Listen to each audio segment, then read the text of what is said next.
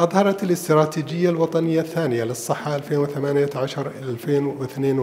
في دولة قطر اهتماما كبيرا لفئة ذوي الاحتياجات الخاصة من خلال أولوية صحة معززة ورفاه للأشخاص ذوي الإعاقة والاحتياجات الخاصة حيث تم تحقيق العديد من الإنجازات أهمها تطوير وتنفيذ مجموعة البيانات الوطنية لذوي الإعاقة تزامنا مع وضع أداة جمع البيانات الإحصائية الخاصة بذلك. وبناء عليه تم إنشاء سياسات جديدة للتغلب على العوائق التي تحول دون وصول الأشخاص ذوي الإعاقة إلى النظام الصحي. وضع البرامج التدريبية لتزويد العاملين في المجال الصحي بالمهارات التي يحتاجون إليها لتقديم خدمة ذات جودة عالية. وتم التركيز بشكل خاص على اضطراب طيف التوحد.